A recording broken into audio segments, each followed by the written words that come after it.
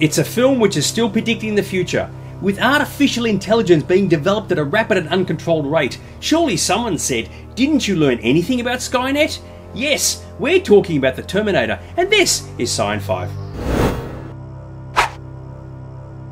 The Terminator was conceived and created by James Cameron at a time when sci fi movies were becoming big business for both movie studios and the burgeoning home video market.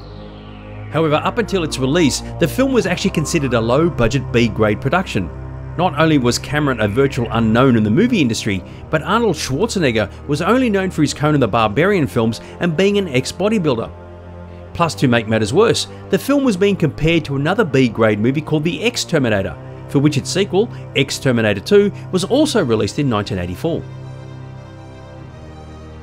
Clearly, the film's success is due not only to the great story concept, as well as the chemistry between Michael Biehn and Linda Hamilton, but also the physically threatening presence of Schwarzenegger. Somewhat amusingly, Cameron himself noted the Terminator's design in the film is highly impractical.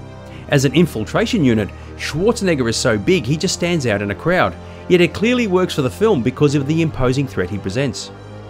And just for clarification, the Terminator featured in the film is known as a Cyberdyne Systems Model 101 featuring a T800 endoskeleton. As clarified by James Cameron himself, all 101 models look like Arnold Schwarzenegger, which is what you see in the sequels, whilst the 100 model and a 102 model would look like someone else, yet all of them feature a T800 endoskeleton. At its very core, the film is a clear warning about the power and influence of technology and our reliance on it.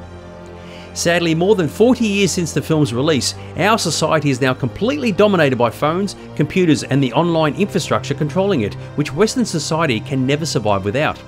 With this in mind, it's easy to believe that some people will eventually start turning towards the emergence of AI to assist in solving the ongoing problems of human conflict and suffering.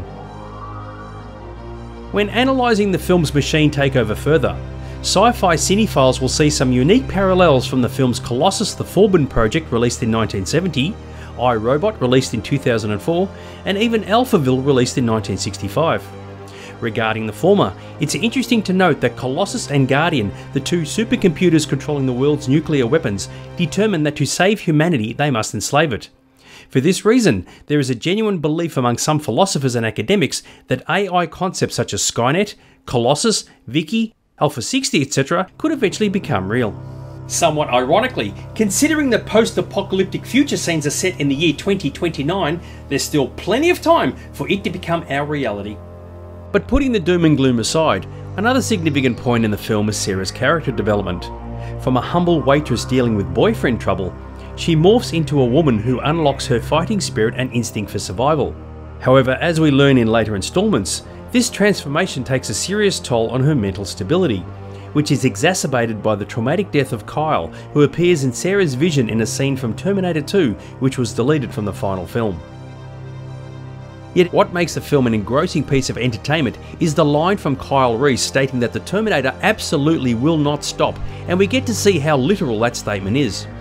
In the climax of the film, we see the Terminator being destroyed and are ready to roll the credits, only to discover how indestructible this machine really is.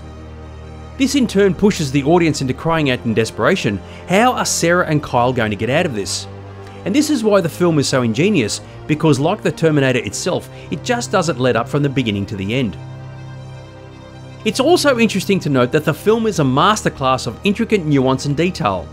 Whether it be Dr. Silberman bypassing the Terminator as he exits the police station due to his annoying beeper, Kyle Reese being John's father but not knowing it, and of course the great moment where we see Sarah's photo being taken in the Jeep, which ends up being the same photo Kyle fawns over in the future, as he wonders what she was thinking at that moment, not knowing she was thinking of him. Fortunately, the film is still a delight to watch, even if historically it's been completely overshadowed by its big budget sequel released seven years later.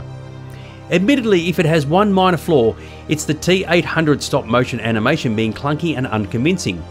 Yet its fantastic and now iconic design makes that issue easily dismissible. Finally, after all that, no one asked the obvious question how many Sarah Connors actually lived in Los Angeles in 1984, and did any of them freak out when someone knocked on the door? And on that note, I'll be back for another Sci Fi Spective.